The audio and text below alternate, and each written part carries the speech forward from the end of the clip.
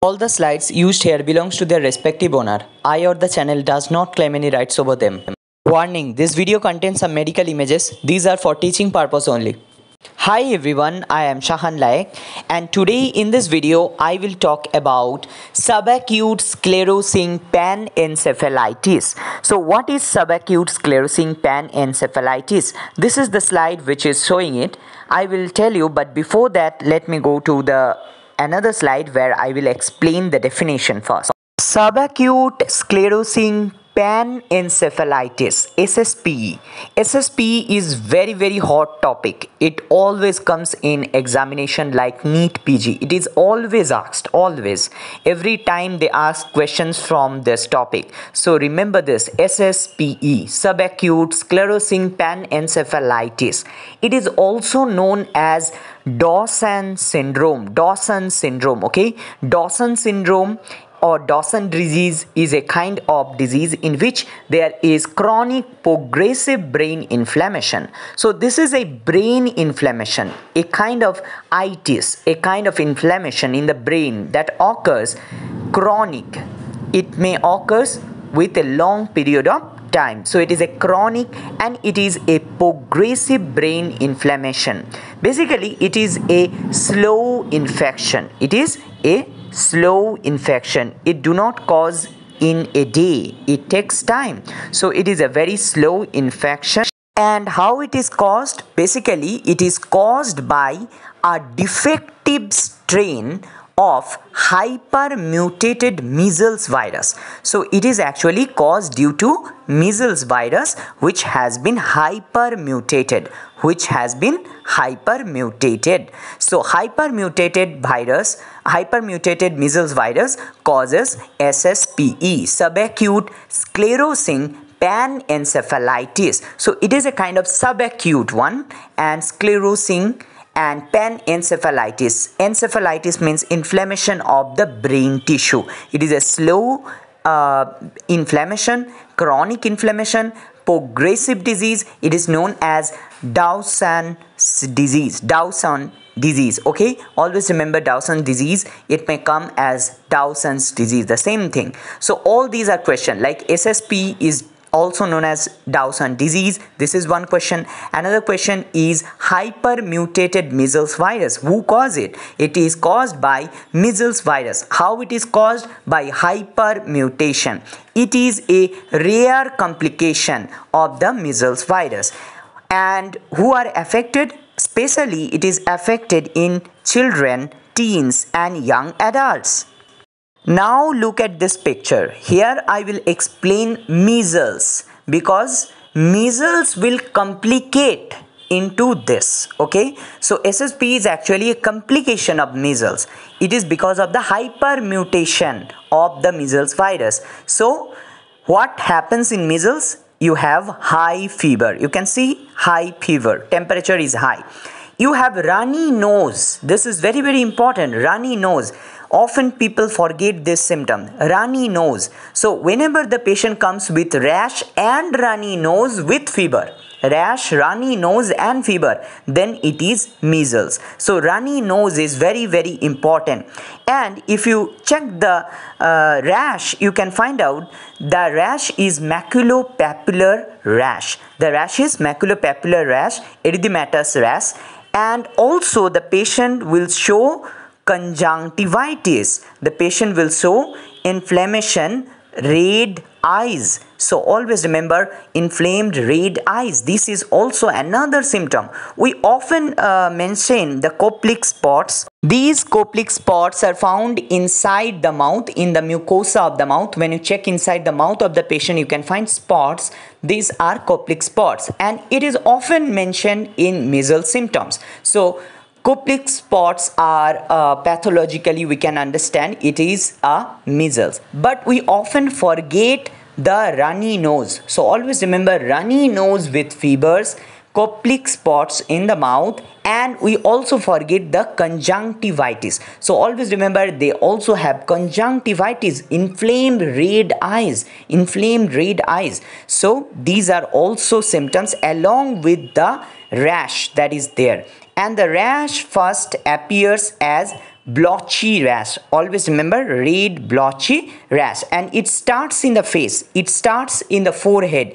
It may starts in the cheeks. It may it may start in the forehead. So always remember this. And then this rash will be found behind the ears.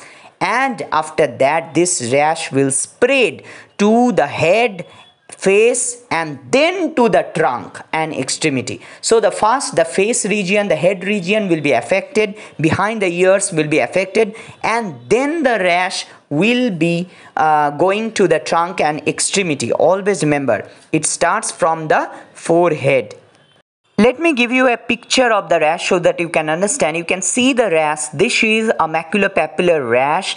It is erythematous rash and basically this is a measles rash and this has been started in the forehead. It starts with the forehead, then it covers the face, then it covers the head and also it can be found basically behind the ears. So when the doctor is checking for measles, the doctor will check behind your ears so that the rash is there then this rash will travel to the trunk and it will go move down in the extremities so in this way this uh, rash will travel in case of the measles.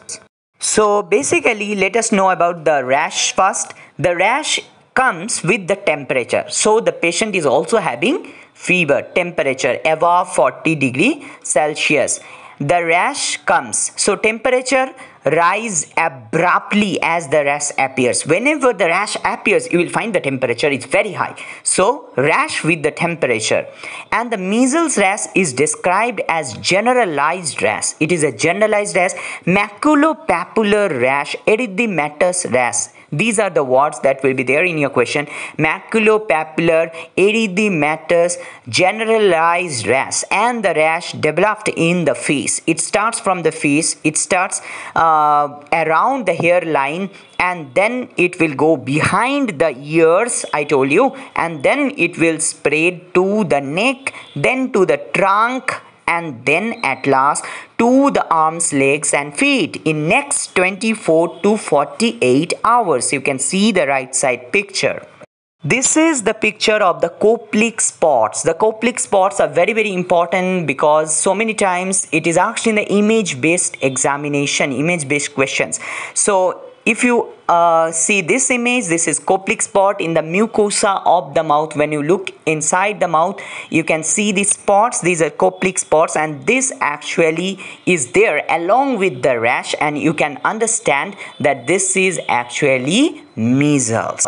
Now let us come into SSPE because SSPE, subacute sclerosing panencephalitis, is actually a complication. It is actually a rare complication and it is a slow progressive complication and it is a slow progressive neurological disorder. So nerves are involved here. What happens? This you can see the red color uh, virus that is the measles virus that is shown and that actually turns into mutation that becomes hypermutated and it affects the neurons it affects the brain and it causes inflammation in the brain edema in the brain swelling in the brain and it causes subacute sclerosing panencephalitis you can see the all the all the pathology pictures are shown below. These are actually how the inflammation has taken place in the neurons and its surrounding in the brain tissue. It is shown here this is the radiological image you can see in the picture where you can find out the arrow markings and all these things which are showing the itis that is inflammation in the brain swelling in the brain uh, edema in the brain and this leads to slow progressive chronic changes in the brain. So you can find out in the radiology this is SSPE which is the complication of measles due to hypermutation of the measles virus This is the pathology picture you can see here. It is the picture of SSPE, subacute sclerosing panencephalitis, which is also known as measles encephalitis. It looks like this. So sometimes it may be given in your um, examination. So I am showing it. You can see this is the picture of SSPE for the pathology of the measles encephalitis. Now let us come into SSP signs and symptoms. Basically, the signs and symptoms of SSP is characterized by a history. If you take the history of the patient, the patient will tell that they already had the measles infection. So they had the measles infection followed by a asymptomatic period. So first the measles infection happened and then a asymptomatic phase happened, a period happened and it may, this may last for seven years on average or it may uh, it may be from one month to say 27 years. So it can be one month to 27 years uh, asymptomatic period but it is an average that is considered as 7 years. So 7 years is average. First you have measles then you uh, there is a gap of 7 years and then you have SSPE SSP is subacute sclerosing panencephalitis I already told you. So what are the signs and symptoms in SSP you will have a neurodegeneration. You will have neurodegenerative disorder where your neurons will be affected and you will have different kinds of behavioral changes intellectual disability intellectual problems and also this will be accompanied with the seizures. Different kinds of seizures you may have. Generally the myoclonic seizures okay? Your muscles clonus seizures. So all these myoclonic seizures you can have along with you can have ataxia gait problem. You can also have blindness and eventually this can lead to death. So it is fatal also ssp is fatal also now let us learn about the progression of the disease. This disease progress in stages. So there are stage 1, stage 2, stage 3 and stage 4. In stage 1 you have depression, you have mood swing. So you have a lot of personality changes, there is mood swing, there is depression and this stage can last up to 6 months. So 6 months you are having stage 1 that is you are depressed.